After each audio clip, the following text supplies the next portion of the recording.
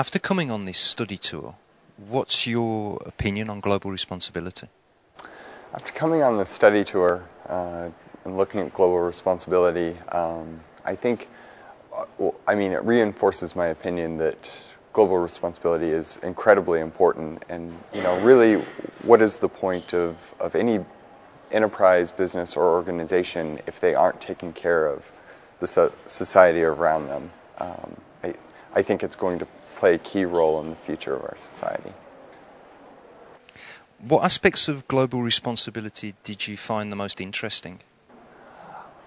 Over the over the global responsibility course, the aspects I thought were, were most interesting were the incorporation of the social element. I think in the United States that is something that has yet to be as developed as it is here in Europe. Um, the, and even the concept of, of global responsibility versus corporate social responsibility um, so often in America we're hesitant to include other uh, parts of, of society and kind of this commitment to responsibility and, and oftentimes uh, it falls upon the company to, to make sure that they're doing things the right way when it really everybody needs to be involved.